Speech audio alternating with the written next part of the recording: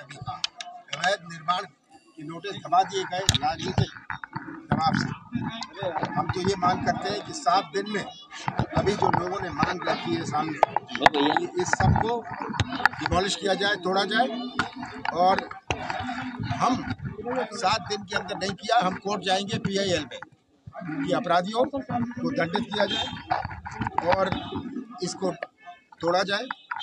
ये आज अवैध अवैध निर्माण का परिणाम। है लोगों ने सर क्या क्या परिजनों से बात हुई आपकी मेरी परिजनों से बात गई उन्होंने कहा कि किस तरह वो जीवित निकले उन्होंने अपनी बातें बताई और हमारी सरकार आएगी हम रैपिड रेस्क्यू फोर्स बनाएँगे। हर ज़िले में हर अपने बड़े नगरों में रैपिड रेस्क्यू फोर्स होनी चाहिए जो पंद्रह मिनट के अंदर पहुँच जाए।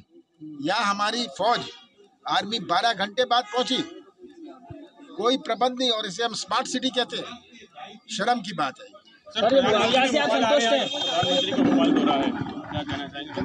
प्रधानमंत्री भोपाल आ रहे हैं का वो बताएँगे क्यों इसलिए आ रहे हैं क्यों आ रहे हैं क्या कर रहे सर मुआवजा से संतुष्ट है हैं ये ये शिवराज सिंह जी सोचते हैं अभी ये सब बात आप सबके सामने कह रहे थे कि शिवराज जी ने हमसे बात तक नहीं करी।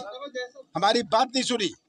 शिवराज जी सोचते हैं कि केवल इवेंट आपके मीडिया के सामने आ जाए दो लफ्ज बोल दे और मामला खत्म और मुआवजा दे दो मुआवजा से सब कुछ साफ़ इस मामले में बात की थी आपने मेरी बात नहीं हुई शिवराज सिंह है